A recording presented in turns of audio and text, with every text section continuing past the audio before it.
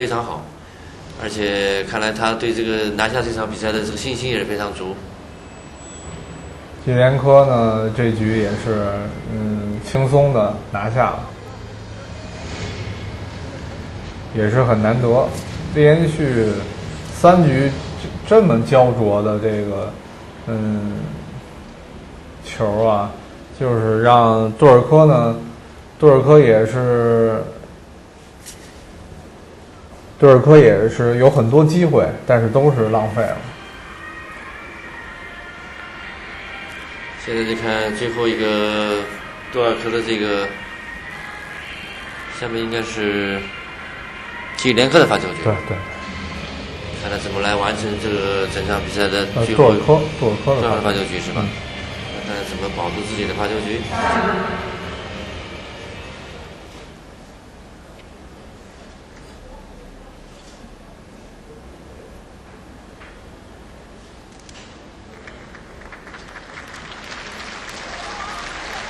场上的观众也是在给双方呃选手在加油鼓劲儿。嗯，我感觉基连科很有可能在这局就拿下比赛。啊，还是季连科的发球局。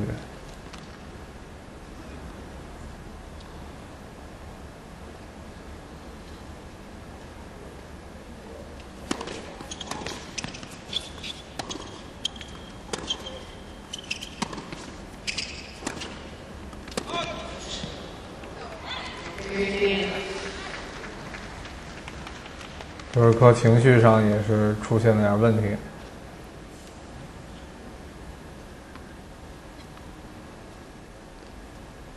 徐天科在自己的这个发球胜赛局里拿到了第一分。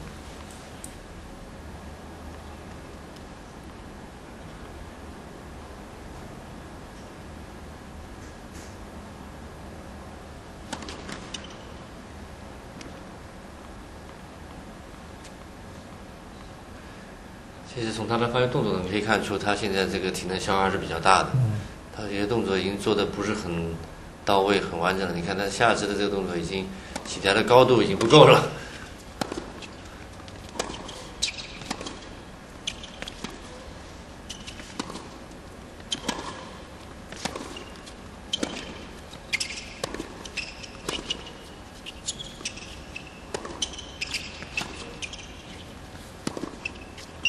感觉基呃杜尔科的这个反手，呃变化还是很多。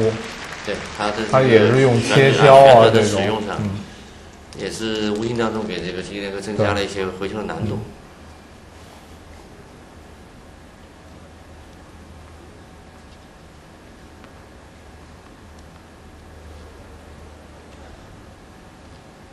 可能还是由于个人的一些因素吧。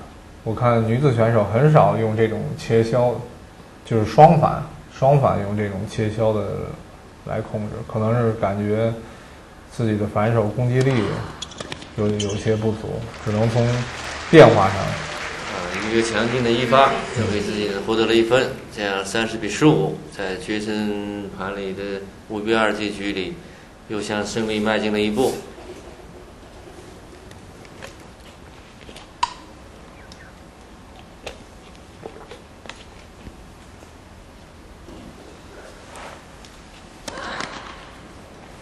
啊，还是想依靠自己的发球来获取分数。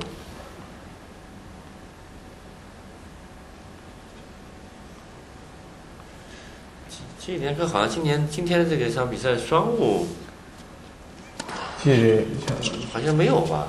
还是有一？好像是第一盘是有一个，对，但是不多。哦，这个。杜尔科的这个回球下网，还是在这局出现了问题，让这连科拿到了两个是这个胜 这个赛点。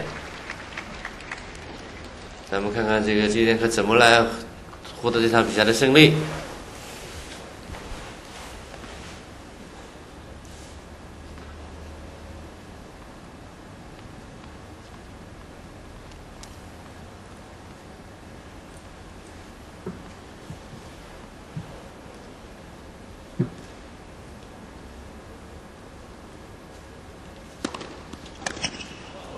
啊，依靠一个强劲的一发，就取得了这场比赛这个拉锯战的胜利。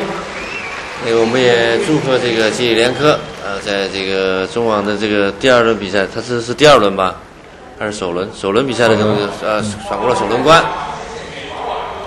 呃，从这场比赛的三场三盘三盘来看，呃，双方打的都还是比较精彩，就是各自展显展示了自己的这个。